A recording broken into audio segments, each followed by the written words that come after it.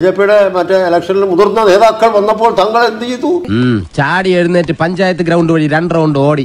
ഒന്ന് പോടോ. ഇതിപ്പോ നിർത്തി ഞാൻ എഴുന്നേറ്റ് പോകും. എനിക്കിങ്ങനെ ഇമാതിരിയുള്ള ചോദ്യം ചോദിക്കുന്നത് എനിക്ക് ഇഷ്ടമാണ് സുരേഷ് ഗോപി ബൂസ്റ്റ് ചെയ്യേണ്ട ഒരാളാണ് ഭീമന്റെ തീർച്ചയായിട്ടും അവനന്ന് എം പി ആയിട്ടിരിക്കുന്ന ആളല്ലേ? അവിടുന്ന് വന്നൂടെ എന്താ വരാത്ത എന്തുകൊണ്ടായിരിക്കും വരാതിരുന്നത്? നിന്റെ കിടപ്പ് കണ്ടു നിൽക്കാനുള്ള കെൽപ്പ് എനിക്കുണ്ടോടാ? അത്രയ്ക്ക് ക്രൂരനാണോ ഞാൻ? ഇപ്പോ നടത്തുന്നത് ഒരു അഭിനയമാണോ?